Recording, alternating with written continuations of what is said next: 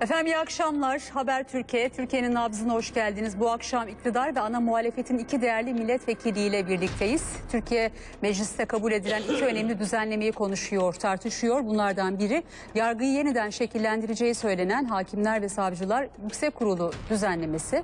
CHP mecliste kavgalara neden olan düzenlemeyi Cumhurbaşkanı'na gitmeden Anayasa Mahkemesi'ne götüreceğini açıklamıştı. Tartışılan bir diğer başlıksa internet düzenlemesi. Başbakan bugün konuyla ilgili konuştu. Düzenlemeyle kimsenin özgürlüğünün sınırlandırılmadığını belirtti Başbakan. Tehditlere boyun eğmeden düzenlemeleri yapacağız dedi. Cumhurbaşkanı Gül'ün onaylayıp onaylamayacağı merak edilen bu iki düzenlemeyi yaklaşan yerel seçimleri ve siyasetin diğer sıcak başlıklarını konuşacağız bu akşam. AK Parti Adıyaman Milletvekili Mehmet Metiner ve CHP Mersin Milletvekili Aytu Atıcı bizimle birlikteler. Efendim merhabalar. Merhaba. Hoş geldiniz. Hoş Çok teşekkürler yayın davetimizi kabul ettiğiniz için. Sizin de yorumlarınızı bekliyoruz. Haberci TV adı Twitter adresine sorularınızı, yorumlarınızı gönderebilirsiniz. Programa hemen başlıyoruz.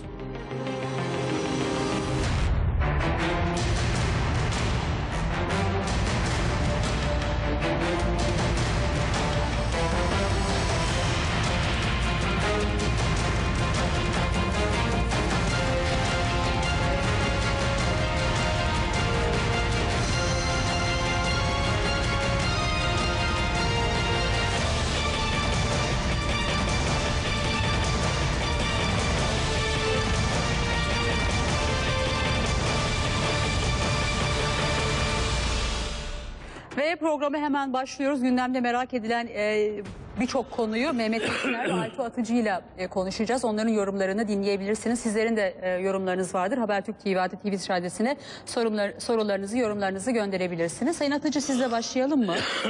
Bu arada Sayın Mehmet Metiner biraz e, rahatsız. Ona e, hafif bir grip geçiriyor diyelim. Geçmiş olsun Sağ diyelim. olasın. Teşekkür ederim. Burada bir şey olursa yardım edersiniz. değil mi? Ee, Mehmet Metiner'e bile yardım ederim evet. hekimsiniz. Mesleğim gereği, ettiğim yemin gereği e, bunu meclis kürsüsünde de söylemiştim. Başbakan'a da bir şey olsa ona bile yardım ederim. Tabii siyaseten görüşlerimiz ayrı olabilir Evet, ama hekimlik mesleğini e, asla bu gibi şeylere e, bulaştırmayız. E, kim olursa olsun yardım ederim. Evet. Peki şimdi Bile, meclis- bileği kaldırması ricasıyla. Nasıl? bileği kaldırsın. Evet, Peki tamam.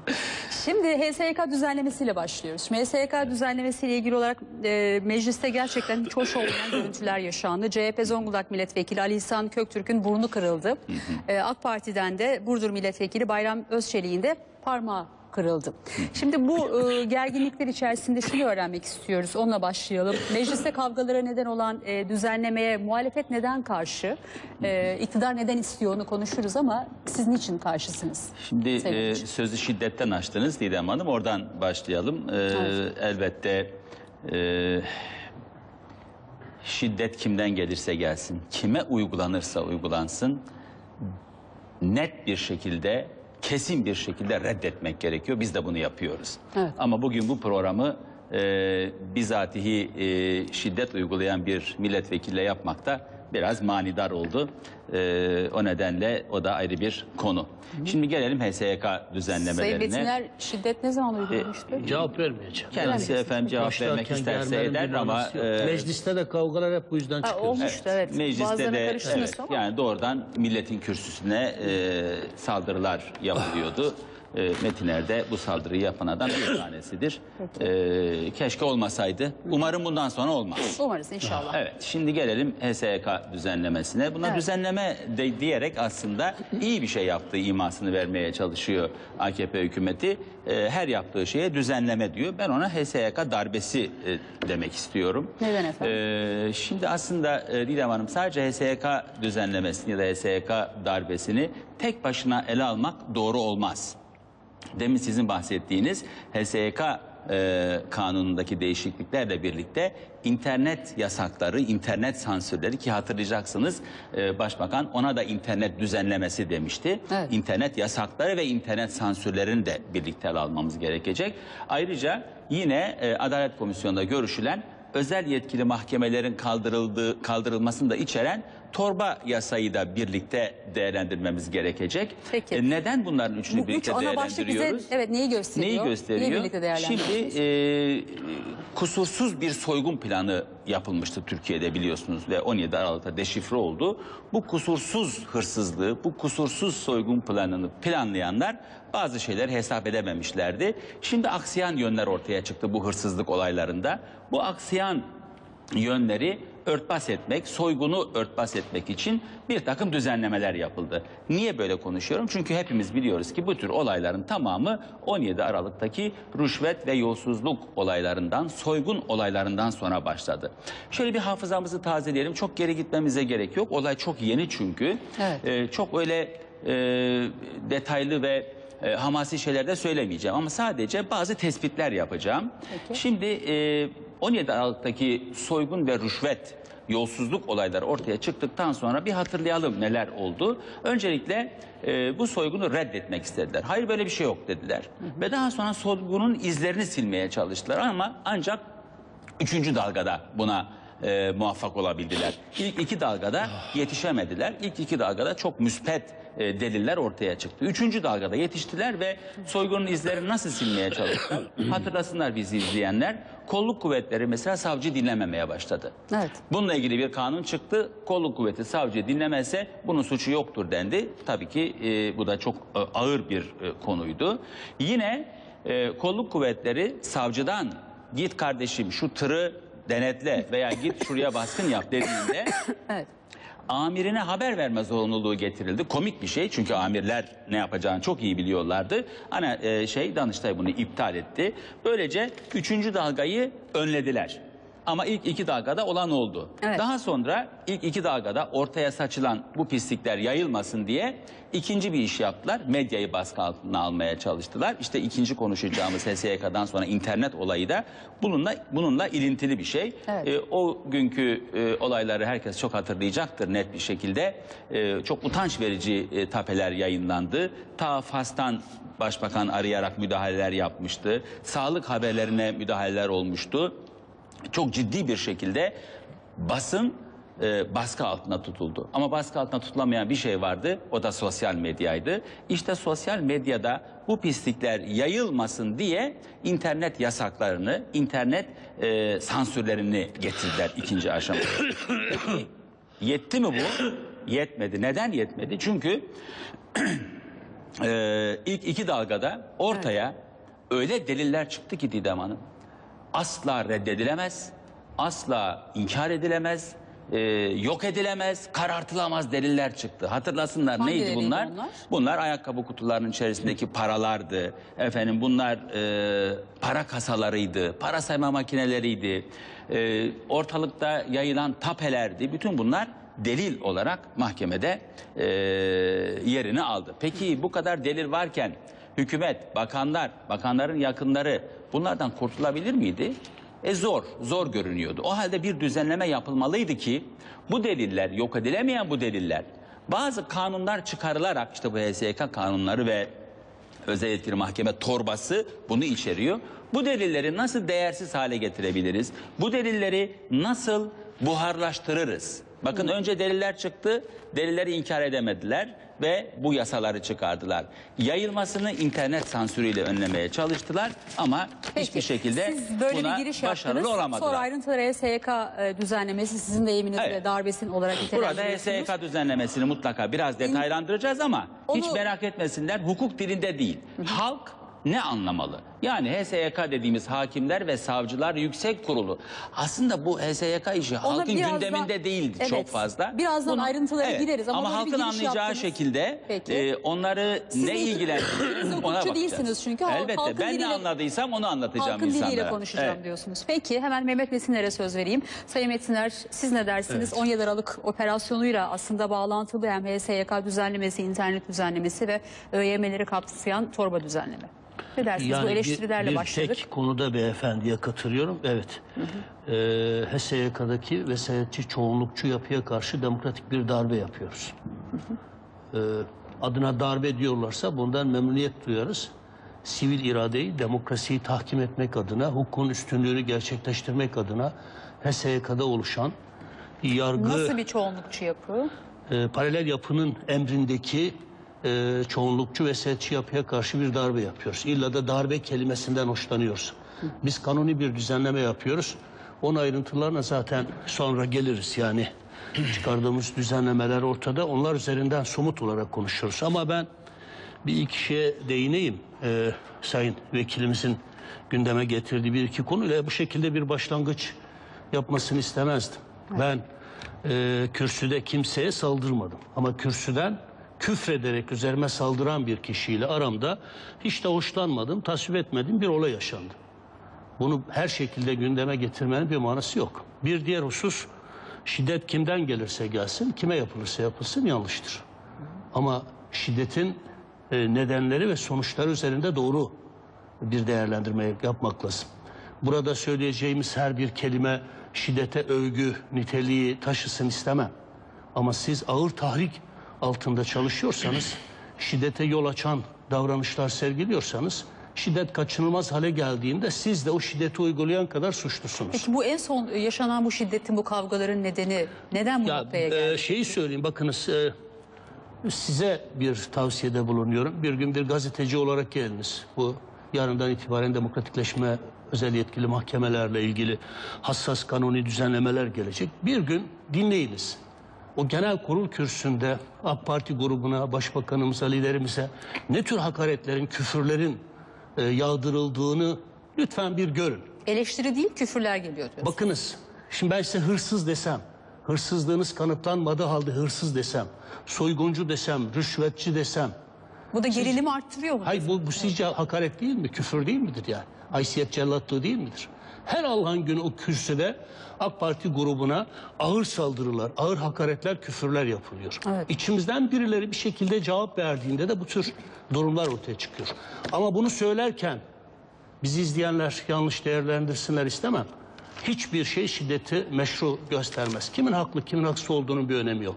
Türkiye Büyük Millet Meclisi'nin bu e, tabloyla anılması hiç kuşkusuz yanlıştır. Son olayda da kimin haklı olduğu, kimin haksız olduğuyla ilgili değilim. Ama sonuç ortada bir vekilin burnu kırılıyor. Evet, ya ben genel kurulda değildim. Yani cezaevlerini incelemek üzere e, komisyonla beraber Ankara dışındaydık. Ama doğrusu e, tasvip etmediğim bir tablo. Ama bunun üzerinden yani sen bunu yaptın, şunu yaptın, buna hiç gerek yok yani. İki milletvekilinin Türkiye toplumu karşısında konuşurken böylesine geyikçi kavgasına düşmesini de istemem. Kendi adıma ben girmem ama e, Millet Meclisi, aziz milletimiz bilsin ki gösteri meydanına dönüştü. Pankartlarla gelinen, şovların yapıldığı, kürsülerin işgal edildiği bir alana dönüştü. Yani müzakerelerin yapılabildiği bir alan olmaktan çıktı. Şovların, gösterilerin, kaba söz ve davranışların sergilendiği bir alan haline dönüştü. Ee, bundan da son derece muzdaribiz. Şimdi e, Peki Sayın Atıcı'nın eleştirisi 17 Aralık operasyonundan hemen ardından aslında bu düzenlemelerin gelmesi e, beraber okudu. Beraber. Yani getirdiğimiz düzenlemelerle neyin üstünü örttüğümüzü somut olarak konuşacağız. Ama şunu söyleyeyim. Şimdi e, Sayın Atıcı'nın Ergenekon davası ile ilgili olarak daha önce vermiş olduğu beyanlarını biliyorum. E, Fasafiso diyen sözlerini de biliyorum. E, ya ben de bugün Ergenekon davasında dün söylediklerim gibi Aynı düşünmüyorum. noktada mısınız? Hayır. Değilsiniz, evet. Her konuda aynı noktada değilim. E, belli bir manipülasyonun yapıldığını ve şu an Silivri'de bir gün dahi içeride olmaması gereken onlarca insanın da olduğuna inanıyorum. Vicdanım Onlarca bana kişi. bunu söylüyor. Süper. Ee, bunu bunu söylüyorum. noktalar var Ya paralel yapının manipülasyonu her dönemde e, yapılmış. 17 Aralık'ta bakınız bir rüşvet, yolsuzluk operasyonu değildir. Siyasi bir operasyondur. Paralel yapının AK Parti'nin siyasi rotasını değiştirmeye, AK Parti'nin e, başbakanımızı itibarsızlaştırarak AK Parti'yi ele geçirme, AK Parti'ye yönelik bir operasyon, hükümetimize yönelik biz böyle değerlendiriyoruz. Diğer bütün olaylar birer mizansenden ibarettir. Paralel yapı mensuplarının mizanseninden ibarettir. Geçmişte de e, şunu söyleyeceğim Peki yani bu, bu paralel yapı ne istiyor tam olarak AK Parti'den? Yani tamam ama siyasi bir operasyon var AK Parti ama neyi hedefliyor AK Parti'ye? Her Yani şeyi de- vermiş başbakan zaten. Nasıl? Her şeyi verdiğini söylüyor başbakan. Daha ne istiyor diyorsunuz. Şimdi soruyor, daha önce başbakanın açıklamasını hatırlattı. Ne ama istediklerini yani vermedi. Konuşurken ben hiç Evet. müdahale etmedim. Yani Peki. sistematik içinde konuşalım. Ee, O söyleyeceğini söylesin, ben de söyleyeceğimi söyleyeyim. Ee, AK Parti'den neyim istiyor? Bir, e, başbakanımızı istemeyen küresel güçlerle işbirliği içinde bu yapı. Küresel güçler, Kaşif Kozinoğlu'nun hatıratında da vardır. Kaynak yayınları arasında çıkmıştır. Son derece önemli bir hatırattır. Bir Ergenekon sanığıdır. Hadi biz söylesek belki sözlerimiz belli kesimlerce kale alınmayacaktır. Herkes Kaşif Kozinoğlu'nun hatıratını okusun. Hangi küresel güçlerin, Amerikan içindeki neokonların, İsrail'in, Avrupa'nın başkaca hangi ülkelerinin Recep Tayyip Erdoğan'ı AK Parti hükümetini artık istemediğini e, lütfen okusunlar anlarlar. Bu paralel yapının hangi küresel güçlerle işbirliği yaparak e, AK, Recep Tayyip Erdoğan'sız bir AK Parti, AK Partisiz bir Türkiye istediğini ve bugün kimlerle e, kol kola girdiğini görürler. Biz 17 Aralık'ı bir rüşvet e, olayı olarak görmüyoruz. Ama burada herkesin vicdanına sesleniyoruz. Henüz ortada bir mahkeme yok. İddianame bile yok. Evet. Bir mizansen var ve bir takım insanlar kalkıyorlar sabahtan akşama kadar soyguncular, hırsızlar, rüşvetçiler diye hakaretler yağdırıyorlar. Hukuka saygısızlıktır bu. Onurlu insanların haysiyetine leke sürmeye kimsenin hakkı yoktur. Mahkeme kararıyla hırsız olduğu, rüşvet alıp vermediği, soygunculuk yap yapmadığı tescillenmemiş insanlar hakkında kemsel söylemek kişinin itibarını gösterir, saygınlığını, durduğu yeri gösterir. Masumiyet garinesi bu kadar ayaklar altına alınmaz. Bunu dediğimizde o birler hep bize şunu söylüyorlar. Ergenekon davasında bunlar yapıldığında niye ses çıkarmadınız? İçimizden ses çıkaran çok sayıda insan oldu. Ben de ses çıkardım. Ama tut ki ses çıkarmadık. Bizim yanlışımız sizin yanlışınızı e, doğru mu kılar yani? O dönemde tapeler kullanıldı. Bu paralel medyada. Kasetler yayınlandı. O zaman Kızılca kıyamet kopartıyorlardı. Şimdi o tapeler bize karşı kullanılıyor. Kimin tarafından nasıl hangi düzmece delillerle üretildiği bilinen tapeler AK Parti hükümetine başkanlığa karşı kullanıyor. İnsan dün söyledikleriyle bari tutarlı bir doğru sergiler. Ben şimdi size Sayın Mesiner şöyle bir eleştiri de var. Şimdi hemen e, bu konuları konuşunca akıllara o soru da geliyor. Şimdi e, bu Ergenekon hem birçok diğer davalarda aslında e, AK Parti iktidarı paralel yapıyla birlikte hareket etti. Ama bu kez o zaman işte bir çıkar ortaklığı vardı. Fakat şimdi ayrı yolları ayrı düştü. nasıl bir çıkar ortaklığı? Yani Ergenekon ve işte hem askeri e, darbelerin işte yok edilmesi, askeri vesayetin yok edilmesiyle ilgili birlikte hareket ettiler. Şimdi de farklı bir duruma geldiler şeklinde. bizim bir çıkar işbirliğimiz yok. Biz aynı idealleri paylaştığımızda inandığımız insanlarla yol arkadaşlığı yaptık. Peki. Bu paralel yapının farkına ne zaman vardık? Ne zaman? 7 Şubat'ta vardık biz. Çok açık, bariz bir Hakan biçimde. Fidan'a dönük. Evet, Milli İstihbarat Teşkilatı Başkanımızın, Başbakanımızın talimatı doğrultusunda çözüm sürecini yürütmek için yapmış olduğu girişimleri sabote etmek amacıyla bu girişimle anladık. Ve 17 Aralık Ha o 7 Şubat'tan itibaren tedbirlerimizi de aldık. Emniyet ve yargı içindeki bu paralel juntanın varlığını fark ettik.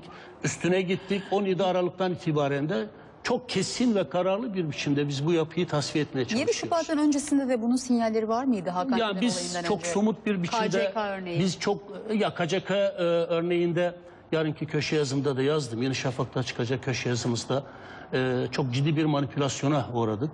Atadığımız emniyet müdürlerinin yargı içindeki paralel savcıların e, KCK operasyonlarında e, bizi çok fena halde yanılttıkları kanaatindeyim. Biz siyasal bir çözüm olsun isterken elinde silah olanla silah olmayanın ayırt edilmeden tutuklanması, kriminal unsurlarla sadece ve yalnızca siyaset yapan unsurların aynı torbanın içine atılmasını bugün kabul etmemiz mümkün değil. Ben aynı olayın Ergenekon davası için de yapıldığı kanaatindeyim.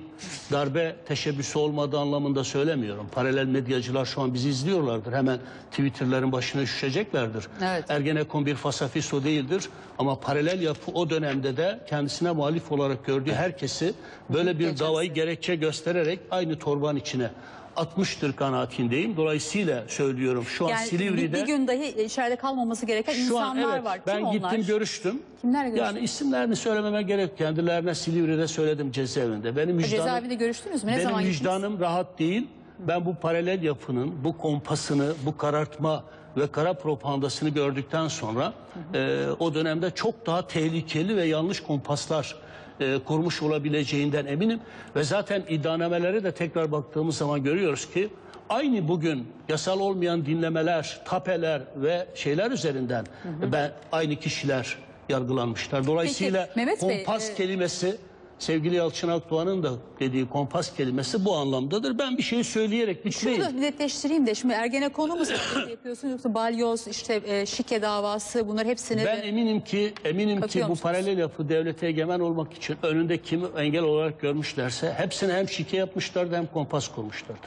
İmanım gibi eminim. O yüzden vicdanımı rahatlatmak için söylüyorum. Evet. Vicdanımı rahat evet Ergenekon bir darbe girişimidir. çok. Evet. Ergenekon'da darbe teşebbüsleri olmuştur, suç işleyenler olmuştur.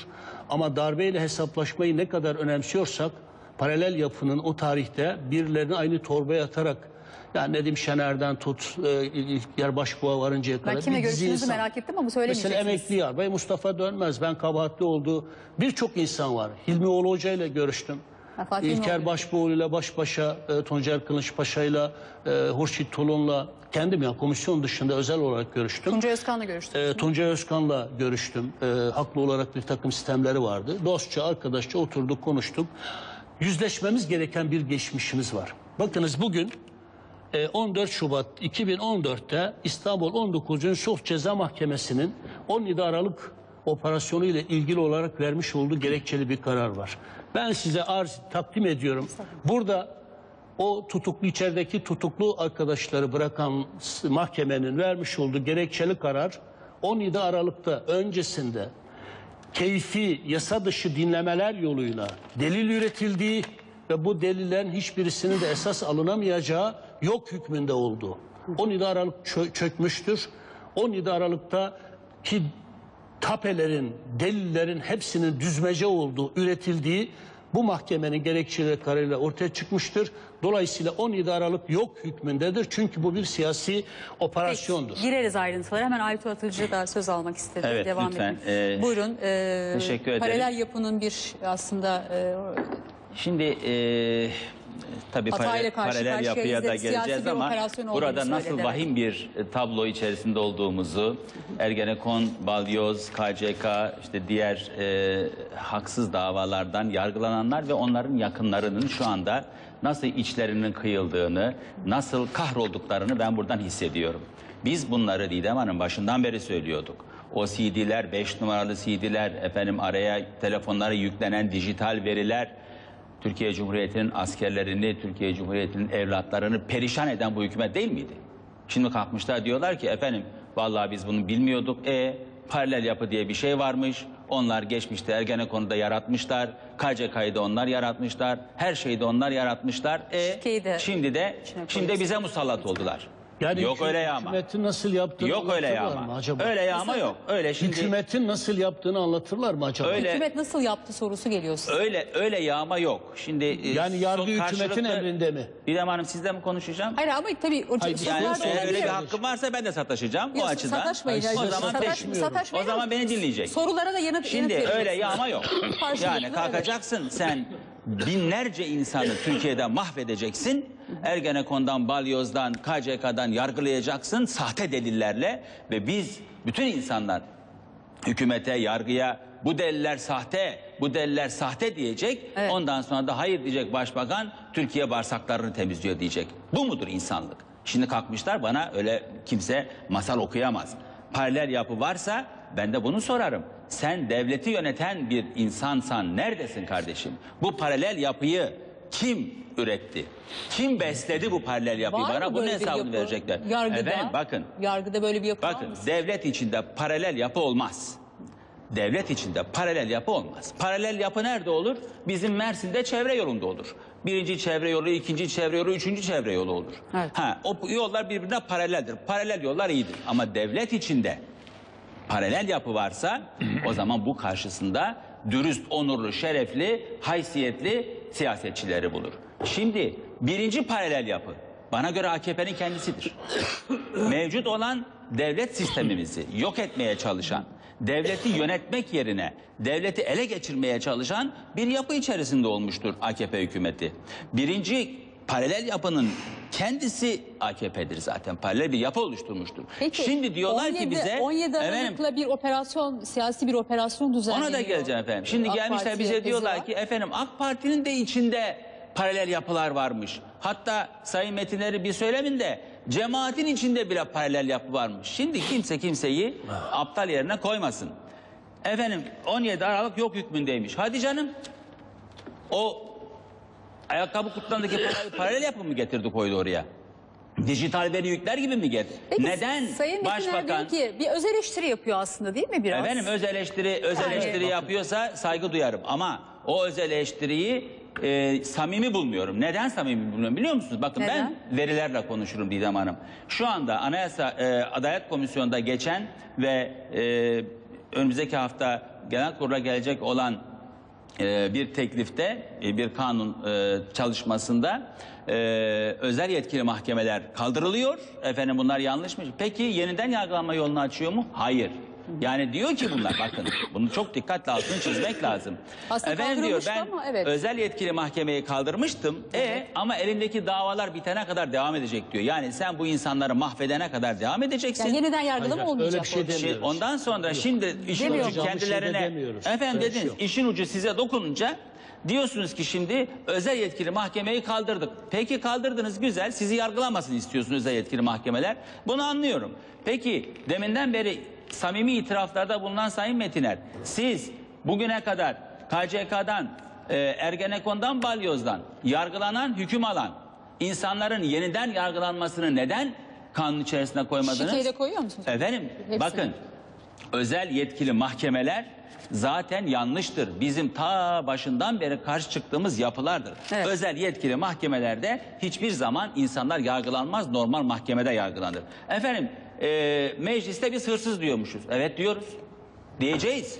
Ama ispatlanmadan. Hırsıza hırsız diyoruz. Bakın karşımda oturan bir milletvekiline, bir sayın milletvekiline ben niye hırsız diyeyim? Ama orada ben diyorum ispatlanmış ki bir dava sonucu Efendim bakın var şu mı? şahıs hırsızdır demiyoruz. Biz diyoruz ki ülkemizde hırsızlar var. Bu hırsızlar namussuzdur, şerefsizdir. Bu hırsızları alkışlayan da namussuz, şerefsizdir deyince bütün AKP ayağa kalkıyor. Üstümüze saldırıyorlar. Kişi ismi veriyor musunuz? Efendim hayır ne münasebet. Biz diyoruz ki bakanın evinde şu bulundu. Bakanın konuşma tapesi şudur. Bakanın çocuğunun yatak odasında bu bulundu. Ha bunu yargı araştırır doğrudur. Masumiyet karinesi çok ama çok önemlidir. Fakat Evet. sadece sana lazım olduğu zaman değil masumiyet karinesi her zaman çok önemlidir. Sen şimdi kalkacaksın bu ergenekoncular ergenekon diye tabir edilen e, olayda yargılananlar veya KCK'da bunların yargı süreci devam ederken sen bunları darbeci diye yaftalayacaksın. Masumiyet karinesini o zaman ifade etmeyeceksin ama döneceksin. Birileri hırsız deyince vay efendim masumiyet karinesi var dava devam ediyor. Yok öyle şey Didem Hanım. Peki samimilerse Burada diyorsunuz, e, samimilerse getirecekler yeniden Yeni- yargılanmayı. Niye getirmediler? Getiremezler. Getirmeyecekler. Çünkü bu bir hesaplaşmadır. 17 Aralık yok hükmündeymiş. Yok öyle şey. Evet. Bu elektronik Uzun veri değil. Bakın biz size elektronik verilerden bahsetmiyoruz. Biz size afaki görüntülerden, ses kayıtlarından bahsetmiyoruz. Açık açık ayakkabı kutularındaki çil çil dolarlardan bahsediyoruz. Çil çil avrolardan bahsediyoruz. İnsanların taktığı saatlerden bahsediyoruz. Efendim kaç milyon dolar rüşvet aldığından bahsediyoruz. Ben bunlara hırsız demeyeceğim ne diyeceğim? Peki Bakın, bir ara verelim. Aranın biz ardından Mehmet Metinler'i dinleyelim. Burada bir ara vermem Peki. lazım. İzninizle kısa bir tam ara. ateşlenince ara veriyorsunuz Didem Hanım. Vallahi öyle gerekiyor. Şu, e, yaklaşık üç buçuk dakika. Çok kısa bir ara sonra birlikteyiz efendim.